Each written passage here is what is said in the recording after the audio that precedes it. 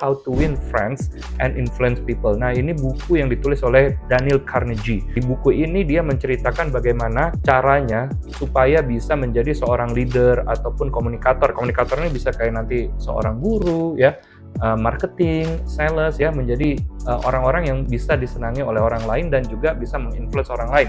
Di buku ini menceritakan tentang pentingnya kita memahami dan juga uh, berempati kepada orang lain, lalu bagaimana kita harus uh, dengerin dulu nih apa cerita orang lain, lalu memberikan penting banget nih di buku ini ceritain penting banget lo harus ekspresikan secara genuine terhadap sesuatu yang lo interest terhadap orang lain. Dan tentunya yang terakhir bagaimana kita memahami uh, dari perspektif orang lain, sudut pandang orang lain, jadi tidak menjudge lain.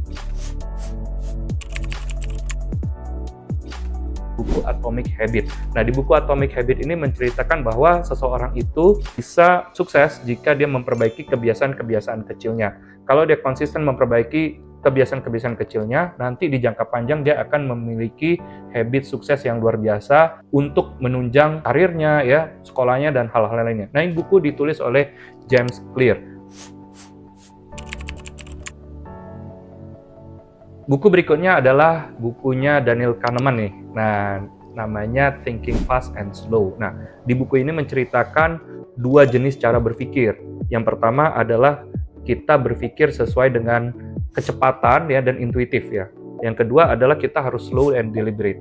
Nah, untuk case-case tertentu otak kita itu bisa melakukan dengan cepat. Contohnya 3 kali 7, 21 ya. Tapi kalau ditanya lagi, kira-kira apa yang menyebabkan Indonesia merdeka? Faktor-faktor apa saja mempengaruhi? Nah, itu kan kita harus mikir ya. Atau kalau di kantor kalian ada ngajuin cuti, biasanya bos kalian jawabnya lama kan? Nah, dia melakukan namanya slow thinking. Di buku ini menceritakan tentang dua jenis orang uh, cara berpikir dan ini menjadi inspirasi kita untuk program kita yang namanya School of Critical Thinking Skill di Ingatan Gajah. Buku berikutnya adalah The Power of Now. Ini bukunya Eckhart Tolle ya. Dia ini kayak bukunya ini sebenarnya bagus ya, kayak buku spiritual di mana dia mengajarkan uh, pentingnya happiness and fulfillment ya. Kalau anak zaman sekarang namanya work life balance and mental health. Nah, di sini bukunya itu menceritakan betapa pentingnya ya kita itu berdamai dengan masa lalu kita yang bikin kita itu stres dan juga bagaimana kita berdamai dengan future-nya kita yang membuat kita itu cemas, anxiety. Dan lebih jauh lagi buku ini memberikan uh, panduan bagaimana kita lebih dekat lagi ke dalam diri kita, ya melihat kepada inner self kita dan kita bisa menjadi seseorang yang utuh di mana kita menjalani kegiatan kita secara bahagia.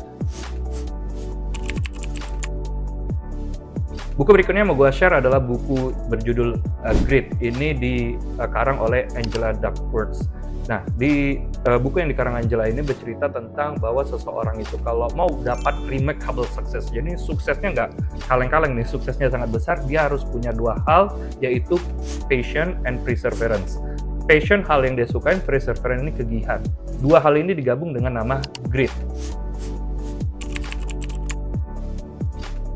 Nah, buku terakhir yang mau gue coba share ke teman-teman adalah buku dari uh, Simon Sinek.